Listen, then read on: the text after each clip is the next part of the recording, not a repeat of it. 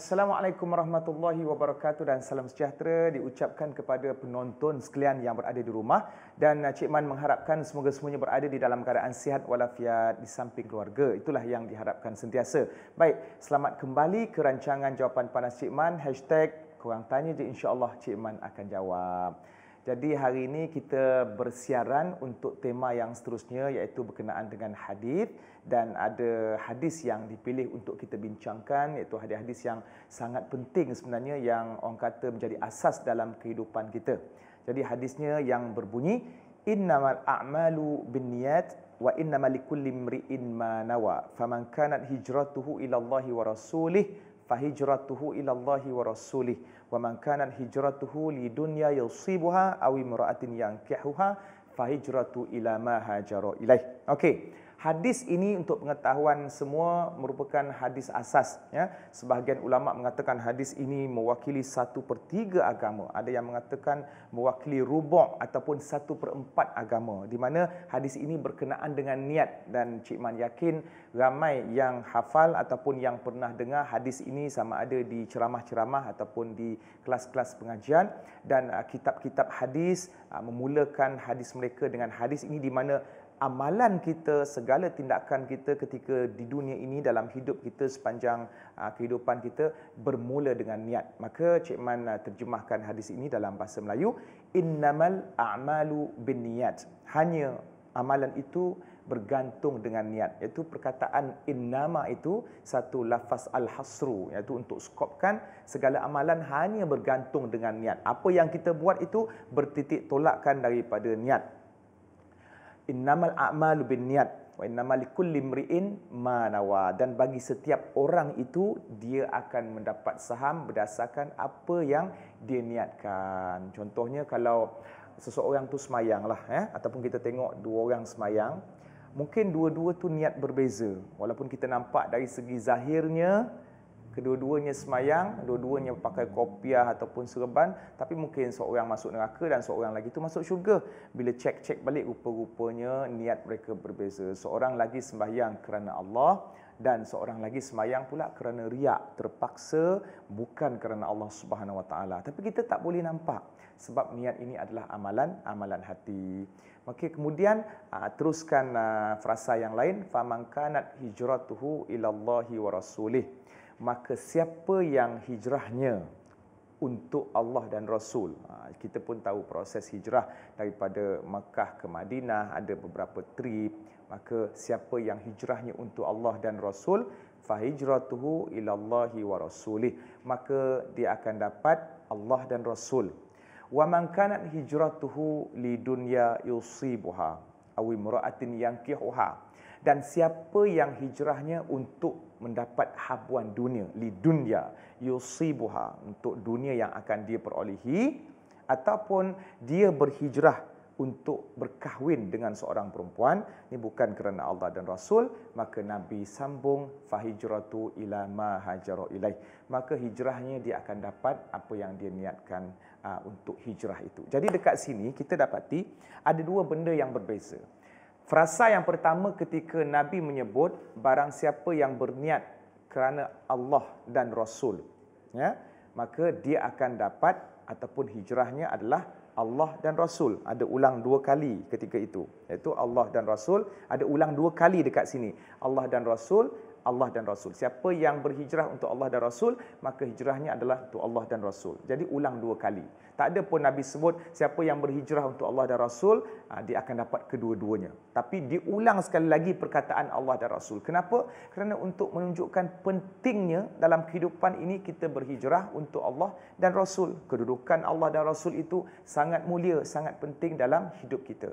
Adapun siapa yang berhijrah untuk benda-benda lain, maka ayat Nabi wa man kanat hijratuhu li dunya yusibuha aw imra'atin yankihuha tapi siapa yang berhijrah niat dia tujuan untuk dapatkan dunia ataupun perempuan yang akan dia kahwin, maka dekat bawah Nabi sambung dia akan mendapat ataupun berhijrah hanya untuk kedua-duanya itu.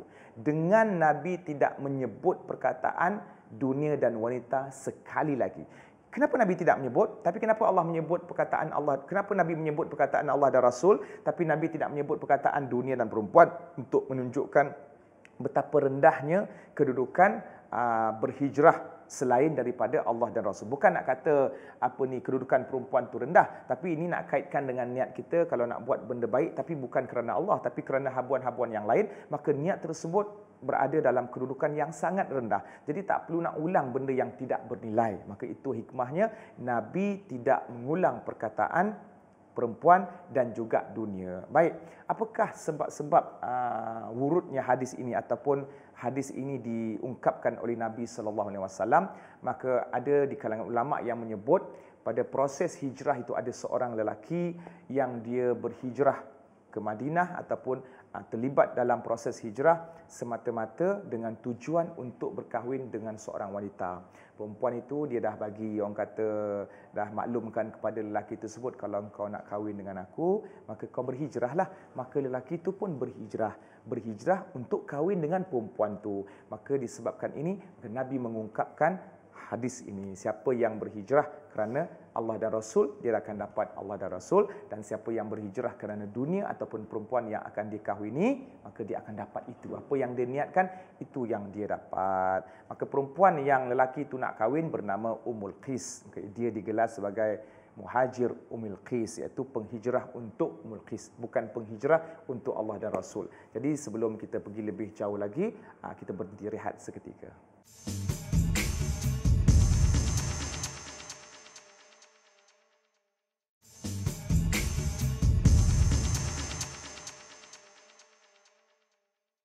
Alhamdulillah kembali ke rancangan jawapan Panas Cik Man dan hari ini hari yang uh, pertama untuk kita bincangkan bagi tema untuk minggu hadis iaitu kita memilih hadis tentang niat iaitu hadis yang memang popular yang sering dibaca di mana-mana saja.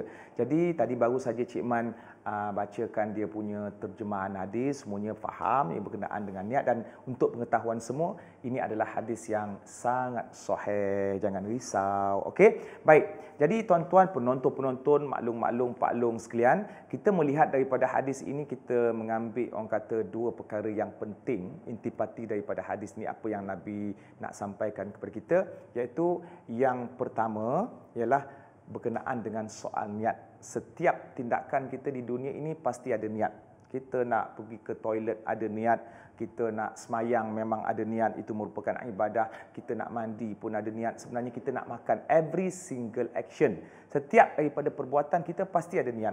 Cuma kadang-kadang kita kata eh mana ada nak makan ada niat. Nak masuk toilet ada niat. Ya niat ini perbuatan hati bukan maksudnya niat ni kena ungkapkan dengan mulut kita. Sama macam uh, kita buat dalam semayang. Dalam semayang tu sebelum semayang tu kita akan baca usalli fardhuz zuhri arba'a rakaatin adaan makmuman lillahi taala. Itu bukan berniat itu namanya talaffuz niat iaitu kita melafazkan niat dia tidak wajib dan dia bukan rukun tetapi dia sunat untuk menetapkan ataupun mengukuhkan kehadiran niat dalam hati kita. Tapi kalau seseorang itu tidak melafazkan niat dengan mulut dia dengan suaranya, dia terus angkat takbiratul ihram, aa, bermakna sembahyangnya sah. Kerana niat itu tempatnya adalah di hati dan niat itu adalah perbuatan hati. Dia bersifat perbuatan dalam. Bahkan kalau orang tu tak lafazkan niat solat pun sebelum dia angkat takbiratul ihram tapi daripada rumah lagi ketika dia menuju ke masjid dia memang dah setkan niat dia. Tujuan apa dia pergi masjid? Memang untuk semayang. Kita pun kadang-kadang kita boleh faham kita boleh baca walaupun kita tak dengar dia bercakap dengan mulut ataupun dia memang tak bercakap dengan mulut niat seseorang. Contohnya kita tengok seseorang itu melangkah ke kafe ataupun pergi ke kantin sekolah. Jadi niat dia untuk makan. Memang dominannya niat ke situ. Walaupun mungkin berlaku keadaan yang luar biasa, dia pergi ke kantin untuk repair kereta. Okey. Dan kita tengok seseorang itu ah, pergi ke tempat jogging, maka niat dia untuk exercise ataupun jogging. Ataupun kita tengok seseorang itu melangkah ke toilet, ah, dia tak akan baca Quran dalam tu. Memang tujuannya untuk qada hajat sama ada buang air kecil ataupun buang air besar. Maknanya perbuatan keadaan dia melangkah menuju ke satu tempat itu dimotivasikan oleh niat yang wujud sebelum itu. Cuma dalam bab ibadah seperti semayang ini ada satu situasi yang khusus istimewa sikit sebab ibadah maka muncullah pendapat ulama yang mengatakan sunat kita melafazkan niat supaya kita dapat menetapkan niat kita untuk terus kekal berada dalam ibadah tersebut. Sebab ibadah ni bukan perbuatan-perbuatan biasa macam mandi biasa, macam nak gosok gigi, macam nak masak maggi, macam nak makan. Dia satu kedudukan yang tinggi berbanding daripada perbuatan-perbuatan biasa. Baik, tapi asasnya semuanya adalah perbuatan. Sembahyang pun perbuatan, mandi pun perbuatan, masak pun perbuatan. Maka bila kita cakap perbuatan, semuanya mesti bermula daripada niat. Tapi kalau dalam bab-bab yang biasa macam nak masak ni kita tak ada baca niat. Pernah nampak dengar mak kita pegang senduk. Sahaja aku nak masak mi bandung, empat senduk, empat sudu gula, kemudian dengan minyak masak kerana Allah Ta'ala. Tak ada pun. Tapi kita tahu bila mak kita angkat senduk, bila mak kita gaulkan bahan-bahan, bila mak kita tumis bahan-bahan dalam kuali, bermakna benda itu telah pun digerakkan oleh niat yang sebelum itu telah wujud sehingga menggerakkan ataupun menyebabkan anggota badan kita bertindak membuat pekerjaan yang diniatkan. Sebab tu kita katakan niat dengan perbuatan sesuatu yang sangat fitrah, sesuatu yang sangat tabii. Tidak boleh kita katakan dia berbuat sesuatu tanpa niat kecuali mengigau. Ha, kan? Kenapa kau semayang ni mengigau tiba-tiba bangun daripada tidur tak sedar diri. Tapi dalam keadaan yang biasa dalam kehidupan kita, perbuatan dan tindakan-tindakan kita, maka seluruh perbuatan bermula dengan niat. Walaupun kita nampak simple. Contohnya, Cik Man nak garu kat sini. Sebelum garu kat sini, Tangan ni dekat sini. Jadi bila kita terasa nak garu, kita angkat tangan kemudian terus garu. Tapi tak adalah Cik Man baca niat sahaja aku nak garu tiga kali seret, seret, seret kerana Allah Ta'ala. Dia berlangsung secara lintasan, berlangsung secara automatik, secara laju. Nak kata benda tu memang memang fitrah. Maknanya secara sedar. Okey, sebab tu kita katakan bahagian pertama yang Nabi nak tunjukkan kepada kita ataupun nak ceritakan kepada kita bahawa niat memainkan peranan penting dalam kehidupan. Kalau kita niat salah, ah, kita akan dapat habuannya daripada Allah. Kalau kita niat yang baik, maka kita akan dapat ganjarannya daripada Allah. Seseorang yang nak masukkan duit dalam tabung masjid, tujuannya untuk membantu orang miskin ataupun membantu masjid, maka dia akan dapat pahala. Tapi kalau seseorang itu masukkan duit, nak tunggu orang lain tengok baru dia masukkan sekeping RM50, maka niatnya untuk menunjuk kepada orang yang dia kaki sedekah. Jadi dia tak dapat apa-apa disebabkan oleh niat itu semata-mata untuk menunjuk riak ataupun ujub dengan kebaikan yang dia buatkan. Itu bahagian yang pertama berkenaan dengan niat. Cuma ada uh, persoalan-persoalan lah eh, daripada netizen. Assalamualaikum Cik Man. Cik Man, saya nak tanya ni Cik Man, mungkin ramai orang buat dan mungkin ramai orang keliru sebab benda ni macam uh, nak kata baik ataupun nak kata buruk. Jadi Cik Man, contohnya saya ni nak buat sesuatu yang tak ikut syarak. Sebagai contohnya, saya nak mencuri Cik Man. Memang mencuri itu haram Cik Man. Tetapi saya nak mencuri dan hasil daripada wang yang saya curi itu, saya akan sedekahkan kepada fakir-fakir miskin yang memerlukan. Subhanallah, nampak gayanya memang niat memang baik ya. Tapi caranya salah. So, macam mana Cik Man? Adakah benda itu dibenarkan dalam Islam? Okey, jangan ke mana-mana. Cik Man akan jawab selepas ini.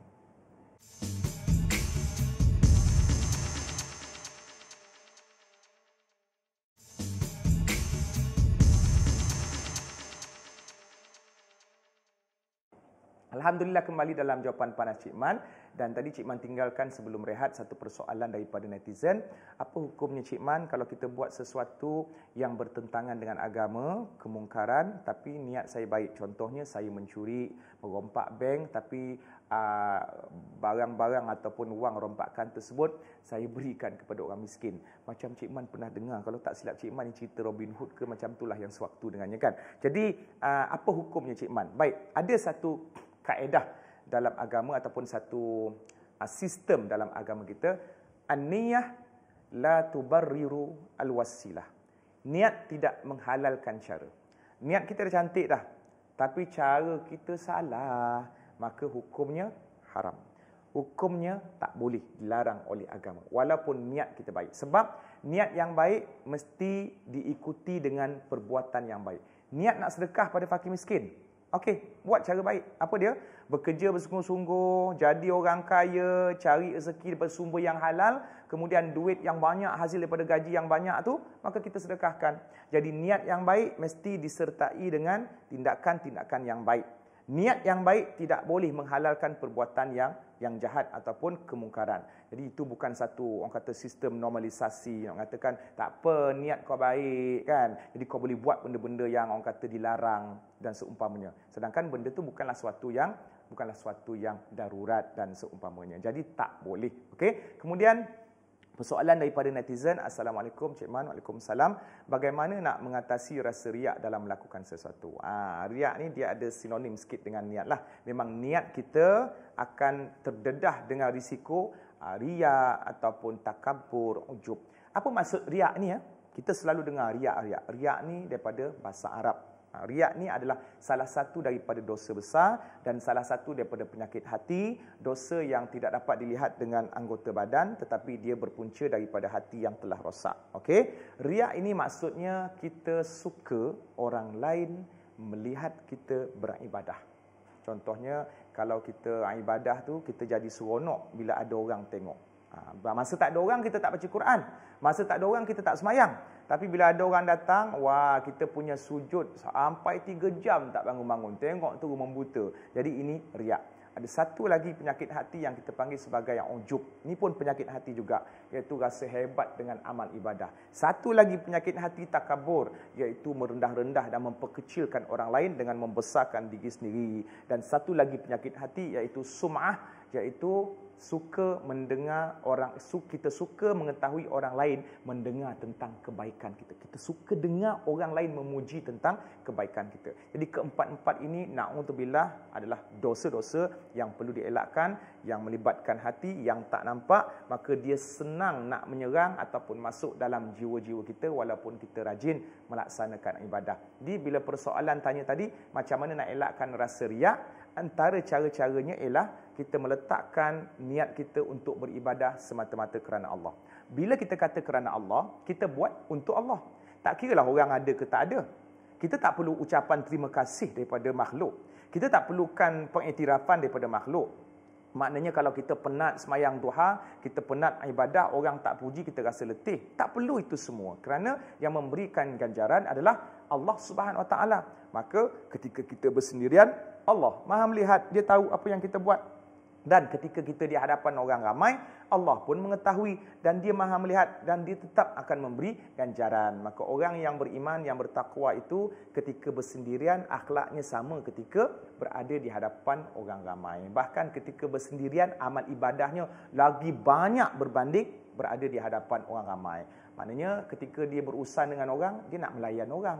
Mungkin tak sempat nak semayang sunat sebab keutamaannya nak melayan orang, nak jaga hati orang. Tapi bila bersendirian, dia memperbanyakkan ibadah-ibadah sunat, baca Quran dan seumpamanya, maka orang seperti ini telah mencapai satu tahap keikhlasan yang sangat tinggi beribadah semata-mata kerana Allah Taala. Baik, kemudian ada persoalan daripada netizen. Cik Man, macam mana kita nak tahu yang amal yang kita buat itu adalah ikhlas? Kita sendiri boleh ukur, kita sendiri boleh rasalah. Sebagaimana kita tak boleh nak uh, judge ataupun nak cari keikhlasan seseorang, begitu juga orang tak boleh nak judge ataupun nak nilai keikhlasan kita. Jadi macam mana kita nak tahu itu? Kita tengok diri kita ni kita beribadah ni macam mana? Adakah kita nak tunggu ada orang tengok ataupun tak? Kalau kita rasa ada orang, oh lagi seronok lah, ada orang kat belakang, kita rasa macam sesuatu yang happy tau. Bila kita ada dekat depan tengah baca Quran, lepas tu kita dengar pula orang ah, ramai-ramai berburak dekat belakang, wah kita lagi lama kan. Tapi bila semua keluar, kita rasa macam alamak kenapa semua keluar? Ah dekat situ kita dah dihinggap dengan penyakit hati yang boleh menjerumuskan kita dengan dosa-dosa besar iaitu riak ataupun yang sewaktu dengannya. Baik kemudian apa yang cik Man nak kongsikan kepada Pak Long Mak Long semua daripada hadis niat ini tadi? Ah, frasa yang kedua yang nabi nak ah, nak bagi tahu pada kita ialah tentang hijrah. Sebab tadi dia cerita pasal hijrah yang mula tadi nak cerita setiap amalan itu bergantung dengan niat.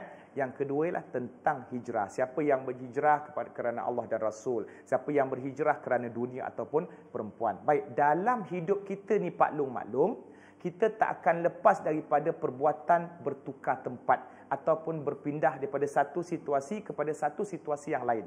Dulu mungkin kita kaki membawang, mengumpat. Sekarang ni mungkin kita rasa benda tu tak patut dan memang benda tu haram. Jadi kita cuba nak elakkan daripada melakukan perbuatan membawang. Dulu kita mungkin dedah aurat, sekarang ni kita ke arah untuk menutup aurat dengan sempurna. Maka proses ini dipanggil sebagai hijrah. Hijrah ini ialah menjauhkan diri daripada sesuatu ataupun perpindahan daripada satu ke satu tempat. Sama ada melibatkan tempat ataupun melibatkan perangai. Kadang-kadang ada orang berpindah tempat tapi perangai sama. Contohnya dia nak berhijrah daripada baik eh, daripada tak baik ke baik. Maka daripada contohnya daripada uh, London dia berhijrah ke negara Arab. Tempat dah pindah dah, uh, tapi perangai pula tak pindah.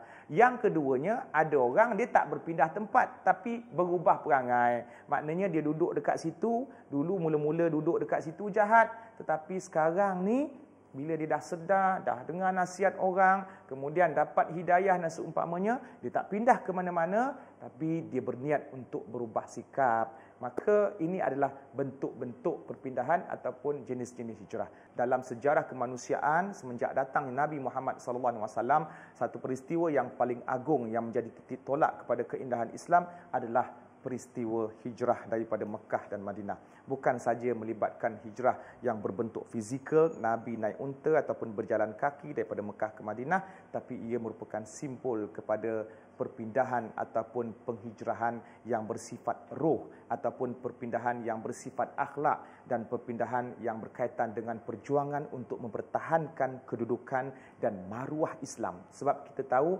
dalam Islam, dalam aktiviti, tindakan kita apapun kita mesti ada strategi. Sebab akhirnya selepas Nabi berjaya membina negara Islam yang pertama di Madinah, Nabi kan buat comeback balik ke Mekah uh, akhirnya Nabi pun membersihkan Mekah daripada kekotoran berhala, daripada kekotoran kafir-kafir Quraisy ataupun orang kata kefasikan-kefasikan masyarakat-masyarakat Arab jahiliah. Maka ini dinamakan sebagai satu strategi. Dalam satu perpindahan Nabi sudah buat banyak perubahan hasil daripada arahan Allah Subhanahu Wa Taala berhijrah ke Madinah, kemudian Nabi membina kekuatan di sana dan aura kekuatan itu sampai dan memberi kesan di Mekah. Kemudian ada satu persoalan daripada netizen uh, berkenaan dengan uh, ni persoalan fiqh lah Cik Man, boleh teka kita gabung uh, niat puasa sunat dengan puasa wajib? Jawapan ringkasnya boleh. Mana dalilnya? Innamal a'malu binniat. Sebab puasa sunat itu dia tidak bersifat tuntutan sebagaimana wajib. Contohnya kita nak puasa sunat hari Isnin,